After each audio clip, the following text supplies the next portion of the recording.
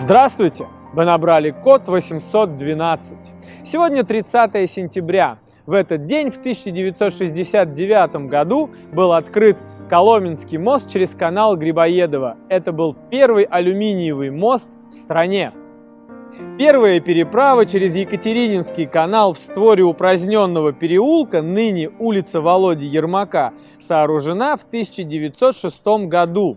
Это был деревянный временный мост, который навели на время ремонта Малокалинкина и Аларчина мостов. Скромная пешеходная переправа, не имеющая никакого архитектурного оформления, но необходимая для соединения Коломенского и Покровского островов. Мост назван в честь одного из старейших районов Санкт-Петербурга – Коломны. На сегодняшний день это единственный в городе и в России цельносварной алюминиевый мост.